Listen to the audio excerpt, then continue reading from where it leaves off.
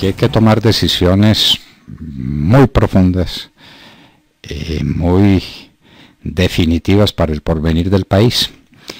Y nos estamos refiriendo al tema del narcotráfico. En nuestro artículo de hoy en las dos orillas que se llama Jate Jaque a la Coca, estamos planteando ese asunto porque no vemos que haya una posición resuelta del gobierno nacional frente al narcotráfico. Es más, tenemos el caso absolutamente escandaloso de un asesor de Palacio, el señor Archila, que le sugiere a Duque no proceder con la fumigación.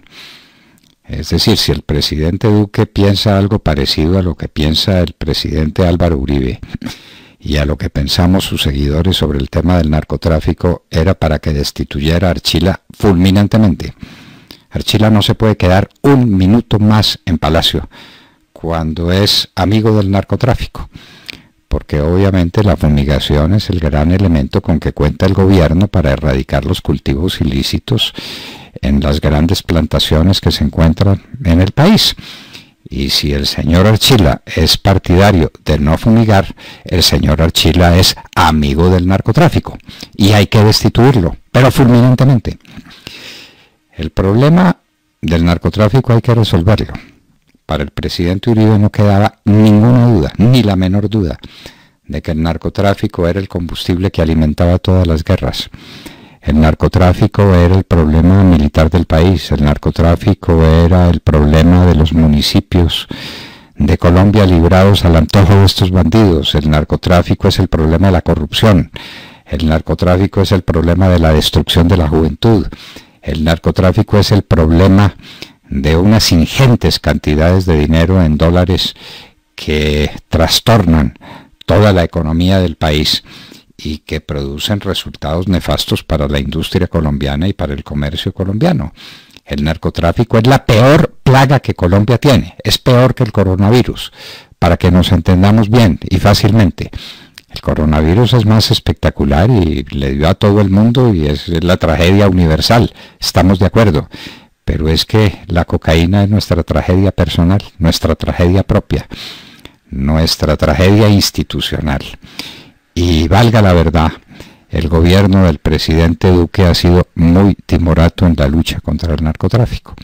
Y ahora cuando tiene un asesor de la importancia del señor Archila dentro de su gobierno, es hora de que el presidente nos diga, eh, es que no voy a combatir el narcotráfico, tengo urgencias mayores, no voy a fumigar. Bueno, entonces que lo diga y sabremos a qué atenernos y qué camino tomar en un país que definitivamente quedó muy feliz con ser el mayor productor de cocaína en el mundo con todo lo que eso trae consigo en violencia, en eh, destrucción de las instituciones, en destrucción de la economía eh, regular de la nación, todo lo que el narcotráfico significa, pero que lo sepamos. Nosotros personalmente no creemos que el presidente Duque, de ninguna manera creemos, que el presidente Duque sea partidario de la condescendencia contra el narcotráfico.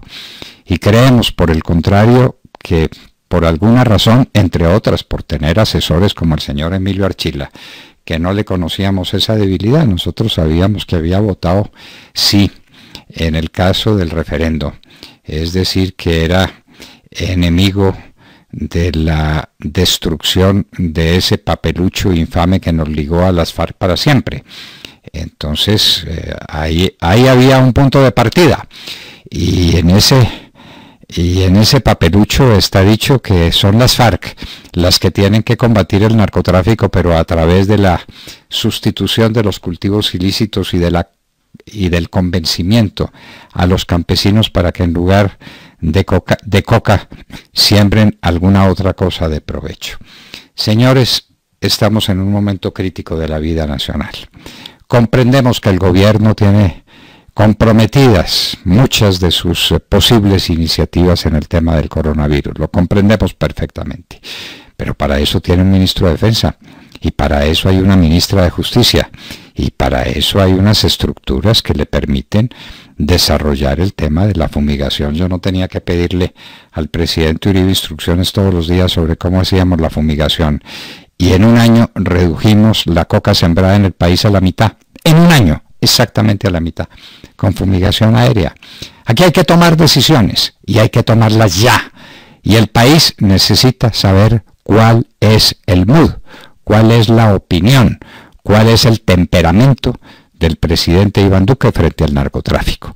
Si comparte la posición del señor Archila y el narcotráfico no hay que combatirlo y, eh, la fumigación no hay que hacerla, eh, lo que significa que hay que mantener los cultivos ilícitos en los niveles en que los tenemos, que son sencillamente catastróficos para la nación.